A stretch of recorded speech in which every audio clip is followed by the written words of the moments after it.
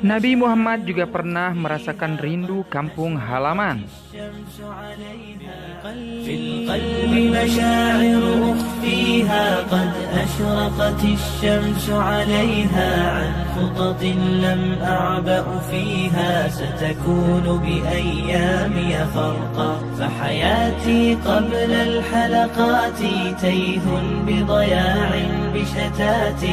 من دون نعيم الآيات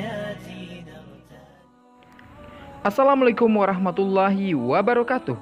Nabi Muhammad Shallallahu Alaihi Wasallam juga merupakan manusia biasa. Sebagai manusia biasa, tentunya Nabi juga memiliki perasaan. Salah satunya perasaan sedih.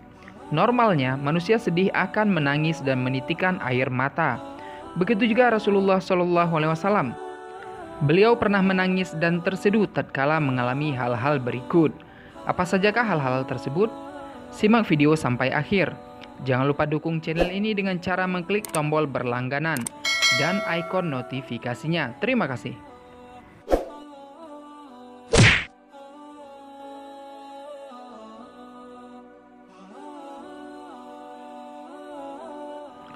Meninggalnya anak Rasulullah Dikisahkan ketika Abdullah anak beliau wafat, air mata Nabi Muhammad SAW bercucuran di pipinya hingga membasahi janggut-janggutnya. Hatinya begitu sedih, namun demikian Nabi Muhammad sadar batasan-batasan akan hal tersebut, sehingga dirinya tidak sampai larut pada kesedihan itu. Karena bagaimanapun semua itu adalah kehendak Allah Subhanahu wa taala. Air mata mengalir, bercucuran tidak menetap di mata. Hati pun bersedih, namun kami tidak pernah durhaka kepada Allah.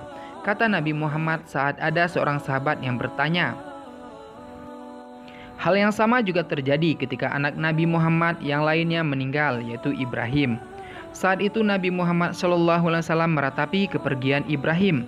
Air mata Nabi Muhammad mengalir deras hingga membasahi wajahnya. Melihat hal itu, sahabat Abdurrahman bin Auf bertanya, "Kau menangis ya Rasulullah? Bukankah kau sendiri melarang menangisi kematian seseorang?" Ibnu Auf, "Aku tidak melarang menangis. Yang kularang adalah dua teriakan dosa, Nyanyian yang tak bermakna dan melalaikan serta ratapan histeris saat tertimpa musibah dengan menampari wajah dan merobek-robek pakaian. Sedang yang terjadi padaku ini adalah ungkapan kasih sayang, jawab Nabi Muhammad.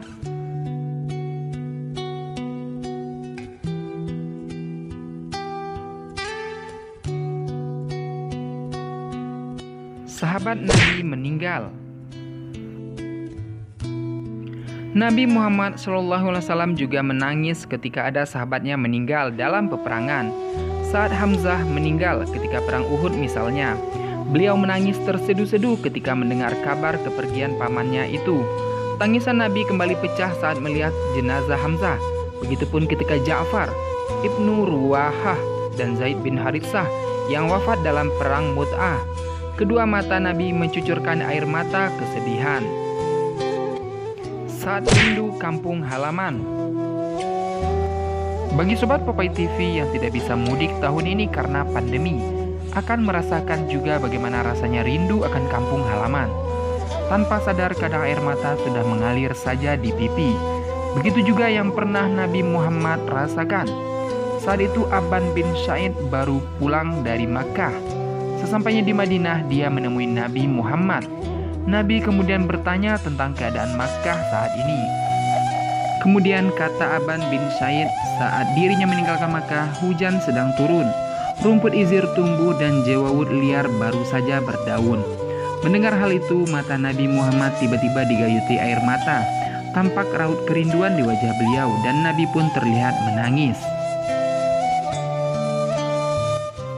Mendengarkan Al-Quran Surat An-Nisa ayat 41 Hati Nabi Muhammad begitu lembut sehingga ketika ada seorang sahabat yang membaca ayat-ayat tertentu, maka air mata beliau bercucuran. Diceritakan suatu ketika Nabi Muhammad SAW meminta Abdullah bin Mas'ud untuk membaca sebagian ayat Al-Quran. Lantas Abdullah bin Mas'ud membaca surat An-Nisa ketika sampai pada ayat 41. Dan bagaimanakah keadaan orang kafir jika kami datangkan seorang saksi, yaitu Rasul dari setiap umat, Dan kami mendatangkanmu Muhammad sebagai saksi atas mereka.